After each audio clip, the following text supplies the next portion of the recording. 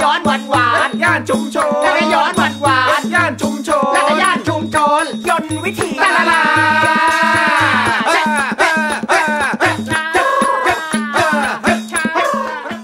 เอ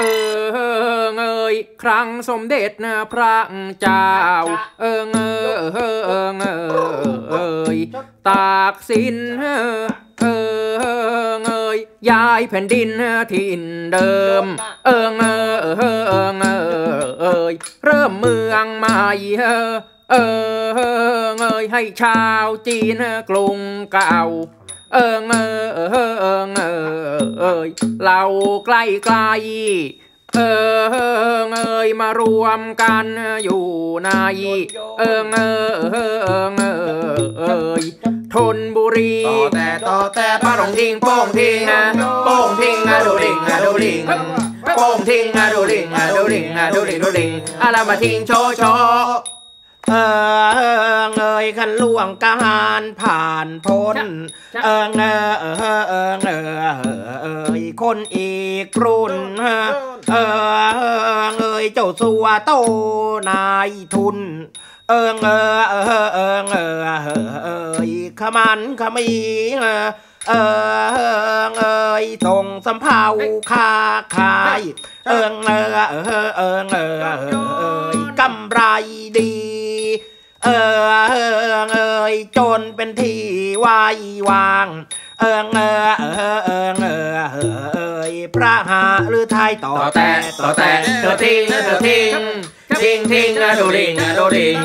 ทิ้งทิ้งนะดูลิงนะดูลิงนะดูลิงดูลิงอะไรมาทิ้งโชโชเอ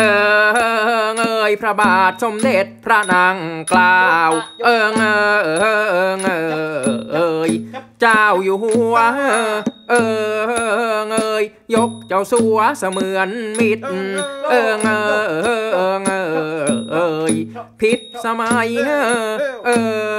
อเงยเจ้าสัวซื้อที่ดิน เออเงยเออเงยเอยถิ่นใกล้ๆเออเงย ทั้งอุทิศหน้าที่อาศัยเออเงยเออเงยเอยสร้างอารามแต่ต่อแต่บ้านมันทิ้งโป่งทิ้งโป่งทิ้งอะดูลิงอะดูลิงโป่งทิ้งอะดูลิงอะดูลิงอะดูลิงดูลิงอะไรมาทิ้งโชว์โชว์เออเออเอยพระราชทานชื่อวัดเออเออเออเออเออเอยกัลยาณมิตรเออเอยอยู่ใกล้ชิด ชุมชนเออเออเออเออเออเอยคนล้นหลามเออเอยต่างพึ่งพาอาศัยเออเออเออเออเออเอยในทุกยามเออเอยถือเป็นความรักใคร เออเออเออเออเออเอยในชุมชนต่อแตกต่อแตกเธอทิ้งเธอทิ้งทิ้งทิ้งอะดูดิงอะดูดิง ทิ้งทิ้งอะโดดิงอะโดดิงอะโดดิงดูดิงอะไรมาทิ้งโชว์โชว์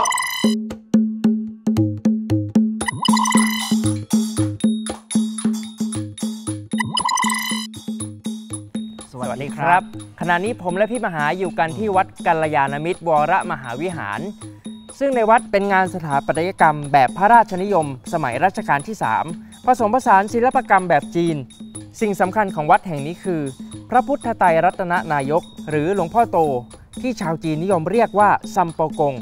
รัชกาลที่ 3 โปรดเกล้าให้สร้างขึ้น และประดิษฐานไว้ในพระวิหารหลวง เพื่อให้เป็นสิ่งศักดิ์สิทธิ์และศูนย์รวมจิตใจของชาวจีน ที่เข้ามาค้าขายแบบเดียวกับสมัยอยุธยา ที่มีพระพุทธรูปขนาดใหญ่ริมฝั่งน้ำณวัดพนัญเชิงสำหรับพระอุโบสถมีขนาดเล็กกว่าพระวิหาร สร้างโดยเจ้าพญานิกรบดินมหินทรมหากัลยาณมิตร น้อมกล้าวถวายเป็นพระอารามหลวงในสมัยรัชกาลที่ 3 นอกจากนั้นยังมีหอระฆังสำหรับไว้ระฆังยักษ์ที่มีขนาดใหญ่ที่สุดในประเทศไทย ทางเข้าวัดมีเจดีย์หินทำมาจากเมืองจีน เรียกว่าถะเป็นศิลปะจีนที่งดงามมาก โอ้โห ดูอะไรอยู่ครับเนี่ย นี่ไง ลายเนี่ย อ๋อ เสี้ยวกลาง ช่แหมเห็นลายไทยเนี่ยผสมผสานกับลายจีนอย่างนี้ นึกถึงอะไรอย่างรู้ไหมอะไรอะ หัวสิงโตไงเล่าอ๋อเคยเห็นสมัยเด็กๆเขาเอามาเชิด ตามสันจ้องสันเจ้านี่มันเป็นเองสิริมงคล อยู่แค่ตรงวัดกัลยาเนี่ยเดี๋ยวเขาละแหล่งที่เขาทำอยู่ตรงนี้เหรอทำอยู่โอ้ยตายไม่รู้เลยเนี่ยเคยเห็นแต่สมัยเด็กเออเดี๋ยวๆพพาอจะพาไปดูหน่อยได้ไหมอยู่ตรงเนี้ยแหละเดี๋ยวตรงตรงนี้นะเนี่ยอ้าวเดี๋ยวเดี๋ยวทางนี้หรือทางนู้นเนี่ยแหละแถวๆเนี้ยเดี๋ยวเดี๋ยววนดูก่อน รู้จริงวะเนี่ยรู้จริงๆพาไปดิไปไปไปไป นี่ไงอยากจะดูช่างทำหัวสิงโตใช่ไหมนี่พามาเจอตัวจริงเลยอ๋อฉายาหน้าแรมกาลยาครับผมสวัสดีครับผมตัวเอาจริงเสียงจริงเลยนะอยากรู้อะไรถามน้าเลย อยากรู้ครับ ประวัติความเป็นมาของการเชิดสิงโตอะฮะครับ มีมาตั้งแต่สมัยไหน เชิดสิงโตอะมีมาตั้งแต่สมัยต้นกรุงอ่าฮะรัตนโกสินทร์ครับนะครับ โดยชาวจีนอ่า4คนเข้ามาในประเทศไทย ครับ มาเล่นเขาเรียก อ่าล่อโก๊วหรือโลโก๊วล่อโก๊วหรือว่ากายกรรมจีน อ่าก็วันนั้นน่ะเป็นวันดีของประเทศไทยก็คือวันเฉลิมฉลอง อืม วันเกิดหรืออะไรสักอย่างหนึ่งของพระเจ้าตากไม่ทราบได้ อืมอืม ก็เลย4คนเนี้ยเป็นกายกรรมจีน ก็อีกคนหนึ่งก็มีทางพลังภายใน อืมอีกคนหนึ่งมีเกี่ยวกับเรื่องมายากลอีกคนมีเรื่องตัวเบา อืมก็เลยอีกคนหนึ่งขาดขาดเสร็จอีกคนสามคนก็เลยออกมาคิดว่าทำสัตว์ที่มันเป็นสิริมงคลหรือว่าสัตว์ที่ในตำนาน ก็คือสร้างหัวสิงโตขึ้นมาอ๋อตั้งกันนั่นเลยครับตั้งแต่นั้นมาสิงโตประเทศไทยก็คือกลายพันธุ์มาตลอดจนกระทั่งถึงทุกวันนี้ อืมและที่สืบทอดมาจนทุกวันนี้ในอยู่ในย่านวัดกัลยานี่คือมีที่มาที่ไปยังไงครับ ที่มาที่ไปก็คือมันเป็นรุ่นสู่รุ่น คือเสี่ยมสอนอะใครเห็นใครก็อยากเล่นเพราะว่าของพวกเนี้ยมันเป็นสิ่งที่แปลกและอีกอย่างมันเป็นวัฒนธรรมของคนจีนที่อยู่ในประเทศไทย สมัยก่อนตรงนี้มีหลายคณะไหมครับ หรือว่า ตรงนี้มี 3 คณะ อ๋อสามนะคณะแต่จริงๆอะจริง ๆ มีมากกว่า แต่ที่โดดเด่นและคงทนและอยู่นานก็คือ3คณะ แล้วจนทุกวันนี้เหลืออยู่กี่คณะ ยังมีอยู่ครับ แล้วสืบทอดมาจนปัจจุบันนี่กี่กี่ปีแล้วครับ โอ้โหถ้านับเป็นร้อยนะ อือหือนับมันเป็นร้อยเป็นะนร้อยปี เป็นร้อยครับเพราะตัวกับผมนี่ก็ 60ฝ่าแล้วอะกี่รุ่นกี่รุ่น มันก็โอ้โหหลายสิบรุ่นนะแล้วแต่เป็นสิบแต่ รุ่นเลยเนาะแล้วที่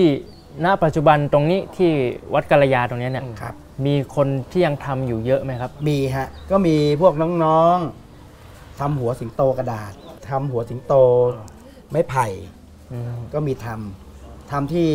ทำออกมาเนี่ยเพื่อที่จะเอามาทำการแสดงเอง อืมเป็นความชอบส่วนตัวเนี่ยอย่างเงี้ยถ้าเป็นสิงโตสมัยก่อนเนี่ยจะมีแค่ลายไฟ อ่าแต่ฮะสิงโตสมัยนี้ก็จะเอาเจ้า เอาเทพเอาอะไรใส่เข้าไปด้วย อะไรที่เป็นมงคล ครับเขาก็จะเรียกหัวสิงโตหัวนั้นว่า หัวสิงโตจักรพรรดิอืม จักรพรรดิก็คือรวมเทพรวมเจ้ารวมเทพสี่รวมเทพรวมเซียนทั้งหลายครับ อยู่ในนั้น คือพูดง่ายๆว่าตรุษจีนปีหนึ่งอะอย่างคุณพาลูกพาหลานมาเที่ยวก็อยากจะได้หัวสิงโตแบบนี้ แต่มันแพงมากหัวหนึ่งอะสองสามหมื่นบาทอ่าแต่เด็กเล่นไม่ถึงอาทิตย์ก็พัง ก็เลยเอาครับ มีคนคิดค้นก็นำหัวปูนมาหล่อทำสิงโตกระดาษอ๋ออย่างนี้ถ้าลองอธิบาย คร่าวๆเกี่ยวกับวิธีการวิธีการทำหัวทำสิงโตอ่าวิธีการทำอะแรกเริ่มเดิมทีก็จะยากนิดหนึ่งเกี่ยวกับการปั้นปูนปั้นปูนเป็นหุ่นก่อน ครับเป็นหุ่นแล้วก็ครั้งแรกก็คือจะนำน้ำเนี่ยมาฉโลมที่ปูน แล้วก็นำกระดาษเปล่าเนี่ยมาปิด ครับ ปิดปิดให้ทั่ว เสร็จพอมาถึงชั้นที่2ก็คือจะลงแป้ง ครับ ลงแป้งที่กระดาษที่ปะ แล้วก็คือเอากระดาษปะตัวเนี้ยปะลงไปอีกทีหนึ่ง มันก็จะเป็นชั้นที่2ครับกระดาษนี่เป็นกระดาษอะไรก็ได้ถูกระดาษอะไรก็ได้ที่ว่าหนังสือพิมพ์เก่าอะไรได้ได้หมด ได้หมดหนังสือพิมพ์กระดาษปูน แต่เป็นกระดาษปูนส่วนมากที่จะใช้นิยมกระใช้ดาษถุงมันปูนใช่ไหมครับมันถุงมันเหนียวปูกว่าใช่ไหม เหนียวกว่าด้วยและหาง่ายด้วยอืม นะครับ ก็จะมาปาดสักสามสี่ชั้น แล้วก็นำมีดมากรีดกรีดข้างหลังแล้วก็แบะออกผ่าเอาอ่าฮะ ครับ แล้วก็นำมาเย็บรอย เย็บรอยก็โดยการปะเชื่อมอืมปิดอย่างเงี้ย ไม่ให้เห็นรอยที่เย็บ ใช่อ่าครับถ้าหัวที่เชิดจริงคือต้องขึ้นโครงด้วยต้องไม้ขึ้นไผ่โครงสารครับเดี๋ยวผมอยากรู้ครับว่าหัวใหญ่เวลาวิธีการทำอะครับต่างจากหัวเล็กยังไง หัวใหญ่แตกต่างจากหัวเล็กยังไง ขั้นแรกก็คือต้องขึ้นขอบนิดนึงก่อนขอบก็คือที่เห็นมีตรงคอไหมเนี่ยหวายถักเนี่ยเขาเรียกขอบอ่าต้องตอนเนี้ยความกว้างของเส้นผ่าศูนย์กลางจะกี่นิ้ว 45 นิ้ว 35 นิ้ว หรือ 20 นิ้วอะไรอย่างเงี้ย แล้วเสร็จปุ๊บถึงจะมาขึ้นโครงค่อมขั้นต่อไปก็คือเป็นการอ่าติดกระดาษ ติดกระดาษกระดาษชั้นแรกก็จะอาจจะยาวสัก 2 นิ้วถึง 3 นิ้ว คือปะเป็นพื้นแผ่นใหญ่อย่างเนี้ยปะไม่ได้ เพราะมันจะทำให้ย่นอ๋อจะทำให้ต้องย่นปะทีละนิดทีละนิดครับ จะต้องใช้วิพูดง่ายว่าต้องความใจละเอียดเย็นอะมากครับ แล้วเสร็จหลังจากนั้นก่อนที่จะมาลงสีลงอะไรก็ มีการฉีดน้ำนิดหนึ่งเพื่ออะไรครับ เพื่อให้มันตึงให้ เหมือนกระดษว่าวอะเหมือนว่าวนะเวลาเราจะเล่นปดพ่นพ่นแล้วก็ไปตากให้มันลมให้มันตึงอืมพอตึงเสร็จปุ๊บเวลาการวาดลงวาดลายมันจะได้สวยอืมมันจะได้พลิ้วพอทาสีเสร็จเรียบร้อย ครับ ทาสีเสร็จลงลายเสร็จ ก็มันอยู่ที่คนจะเล่นสไตล์ไหนอีกเหมือนกัน การเขียนลายถ้าเขียนลายก็มันอยู่ที่จินตนาการของช่าง อยู่ที่จินตนาการของคนทำหรืออยู่ที่จินตนาการของผู้ว่าจ้าง เขียนลายลวดลายอะไรเสร็จเรียบร้อยขั้นต่อไป ผมเห็นนะตา อ๋อตาเนี่ย ตาใช้วัสดุอะไรทตาเนี่ยสมัยก่อนในอดีตจริงๆเขาจะใช้ดินปั้นำปั้นแล้วแปะกระดาษป่ะเป็นแบบ แปะกระแล้ดาวษก็เหมือนแปะนกระดาษแล้วแล้ก็วถึงผ่าจะออกมามาอ่าถึงจะมาแกะออก อ่าแกะออกแล้วก็จะมา แต่สมัยนี้เขาง่ายเขาไปร้านกึง บอกเอาเท่านี้เป็นทรงนี้ทรงนี้ช่างมันเห็นมันก็ฟูฟูฟูผมเคยเห็นพี่ตามแดง ๆ ด้วย ตาแดงๆเนี่ยอันนั้นเขาทำ เขาใส่หลอดไฟเข้าไป เอาหลอดไฟใส่หลอดไฟม่ก็คือมันเป็นวิวัฒนาการอีกอีกขั้นหนึ่งของการแสดงอ๋อแต่จริง ๆ สมัยก่อนน่ะเขามีตาไฟจริงแต่ไม่มีสีแดง จะเป็นสีไฟเหลืองๆไฟดับไฟฉายบ้านเราเห็นไหมอ๋อไฟฉายบ้านนอกอะไฟแดงๆก็คือใช้ไฟฉายเลยอะดวงเล็กครับ เอาๆฝังเขี้ยวเข้าไปเขี้ยวอะฝังกับไฟแล้วก็ติดกาวไว้แล้วก็ต่อสายเข้าไปข้างใน มัดให้แน่นๆอย่าให้หล่นก็ใส่แค่นั้นตาแล้วอืมเห็นมีต้องมีติดขนเขินอะไรด้วยขนติดขนเนี่ย สมัยก่อนเนี่ยถ้าดั้งเดิมจริงๆอะเขาจะใช้ขนกระต่าย ขนกระต่ายกระต่ายจริงตรงตามหน้าตามคิ้วอะไรๆครับเยนั่นแหละจะใช้อ๋อขนแบบกระต่ายพุดชุดนิ้วอะเนาะครับอืมใช้ชุดนิ้วแบบนั้นอะ จะใช้ขนกระต่าย แล้วถ้าไอ้เครายาวๆครับเขาเนี่ยส่วนมากสมัยก่อนเขาจะใช้หนวดม้า หางม้าหางม้าหางม้าอ่ามาทำเป็นหนวด แต่สมัยนี้มันไม่มีละมันเนี่ยอย่างนี้ยังเป็นเอ็นนะนี่ไม่ใช่หางนะเนี่ยนะนี่เป็นเอ็นเหมือนเหมือนวิกผมใช่ไหมเหมือนวิกครับอืมสิงโตสมัยนี้จึงไม่มีสิงโตที่ เท่ามีแต่สิงโตหนุ่มอย่างเดียว อ๋อ เพราะมันยังไม่ยาวเป็นแกครับ มันจะขนตาจะไม่ยาวขนสั้นอะผมเห็นเนี่ยมีแบบกระพริบตากระพริบตาได้ด้วยเนี่ยครับมันดั้งเดิมเป็นไงเหมือนเดิมอะทำแบบนี้เป็นได้เลยเป็นไหมเป็นแบบนี้ แต่ระหว่างสิงโตไทยกับสิงโตนอกไม่เหมือนกัน สิงโตนอกเนี่ยเขาจะโยงหูตามาอยู่ที่มือข้างเดียวครับแต่สิงโตไทยอะด้วยความถนัดก็คือจะเป็นเชือกโยงมาเหมือนกัน หูตาแต่ว่าใช้มือตรงกลางเหมือนใช้เป็นเชือกห้อยแล้วก็ใช้ดึงกระตุก อันนี้ก็ก็แล้วแต่ช่างครัฝีบ มือแต่ละคนแต่เหมือคนกัไทยถนัดแบบนี้มากกว่า อ่าแต่เมืองนอกเขาถนัดแบบนี้ขนาดกำกำกำกำครับ ครับผม โอ้โห วันนี้ดับ ครับได้ความรู้เต็มเปี่ยมเลย ครับผมเรื่องสิงโตแหมอยากรู้มานานขอบแหมขอบคุณคุณคุณสแตมป์เหมือนกันนะอุตส่าห์พามาจนถึงที่นี่นะ โอ้โหกว่าจะมาเจอผมวนรอบโบสถ์ไปสามรอบ ใช่ จะถามอยู่ว่าวนทำไม เออเพราะเขาอยู่ข้างนอกแหมต้องขอบคุณนาแรมกัลยานะครับขอบหรืคุอณครับ นัทวัชชัยแสงโอครับเสน ครับผมขอบพระคุณมากครับ ย้อนหวานหวานย่านชุมชนจักรย้อนหวานหวานย่านชุมชนจักรย่านชุมชนยนต์วิธีลาลาลา